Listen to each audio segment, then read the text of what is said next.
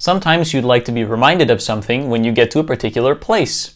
For example, you're going to a store and you'd like to be reminded when you get to the store to buy a certain product. But if you're using Things 3, you may be disappointed to find that Things 3 does not support location-based reminders or notifications.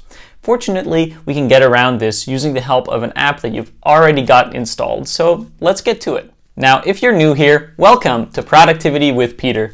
My name is Peter Akkies, and I'm here to help you be more organized and more productive using project-based task managers such as Things 3. Now, if you're new here, be sure to check out my other videos as well. I've got plenty of videos that will help you be more organized and be more productive. And also, check out my online video courses. I've got one on OmniFocus and one on Things 3 if you really want to dive deep right away. But either way, welcome. First things first, it is possible to add a reminder to a to-do in Things 3. So if I create a new to-do in Things 3 and I give it a title, I can then go and set a reminder by clicking the When button over here and then clicking Add Reminder. So let's talk about what I'd like to remind myself of first.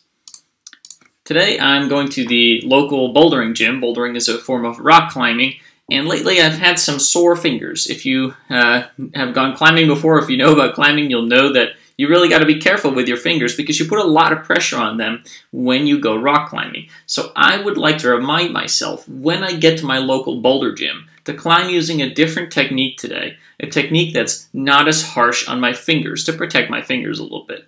This technique is called open-handed climbing. So I would like to say climb open-handed, and I would like to be reminded of this when I get to the climbing gym. Now what I could do in Things 3 is again, click the When button, click the When button, and click Add a Reminder. And let's say I could set the reminder for 3 p.m. like this. It's done. Except, what if I show up at the climbing gym at 2.45 and I put away my phone and I climb for a while?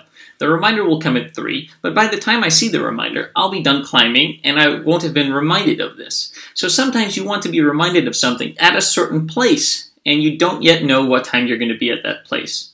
So how are we going to solve this problem? We're actually going to not use things 3 at all.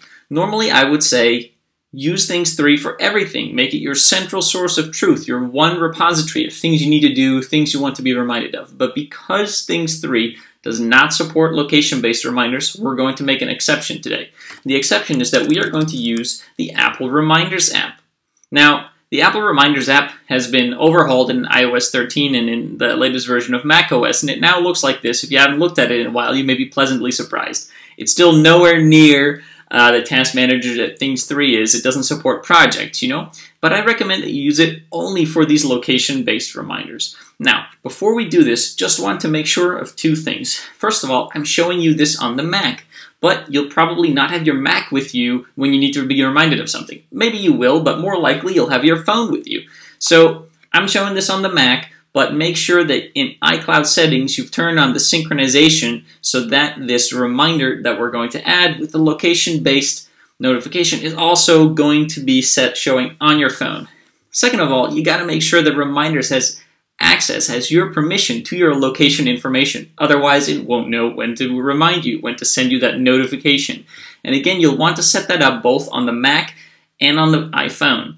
So I'm going to show you how to set that up on the Mac. I'll go to System Preferences, and I'll go to Security and Privacy over here. And then under Location Services, I'm going to scroll down and just make sure that there is a check mark here in front of Reminders, meaning Reminders can access my location. Now you may have to click the lock, enter your password, and then you'll be able to check that box. Just make sure that that's checked. Now let's head back to the Reminders app. I'm going to hit Command N to create a new reminder. I'm going to say climb open-handed, and then I'm going to add a location, My climbing gym.